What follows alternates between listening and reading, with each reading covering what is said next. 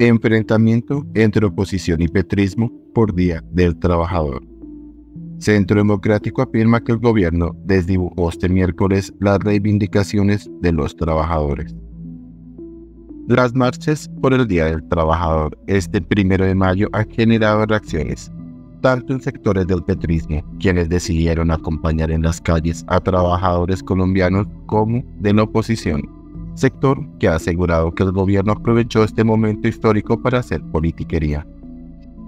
El director del Departamento de Prosperidad Social de PS y excongresista del Pacto Histórico, Gustavo Bolívar, salió en defensa de las marchas que se desarrollan en Bogotá y otras ciudades del país como Barranquilla y Medellín.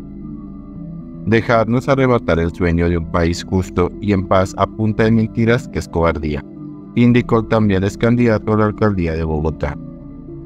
Además destacó que este Día del Trabajador sale a marchar con la frente en alto y muy orgulloso de pertenecer al mejor gobierno de la historia. Por su parte, representante a la Cámara por el Centro Democrático, Cristian Garcés, aseguró que el Ejecutivo decidió desdibujar las luchas reivindicativas de los trabajadores con sus propias acciones de politiquería. Hoy Gustavo Petro y el Pacto Histórico desdibujan el Día del Trabajador con una marcha plagada de politiquería banderas del M-19 y hasta de Palestina, indicó el congresista. También señaló que al presidente no le importan los trabajadores ni los desempleados. Lo único que quiere es imponer su ideología socialista y antidemocrática en Colombia.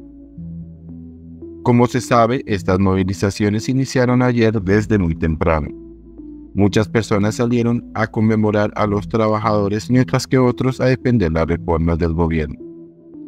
En Bogotá, la acción de calle terminó con una concentración en la Plaza de Bolívar, lugar aledaño a la Casa de Nariz.